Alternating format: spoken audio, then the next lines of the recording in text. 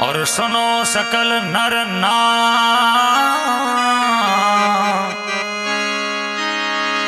जो गलती होवे दास की ठीक विजन ली जो सुधार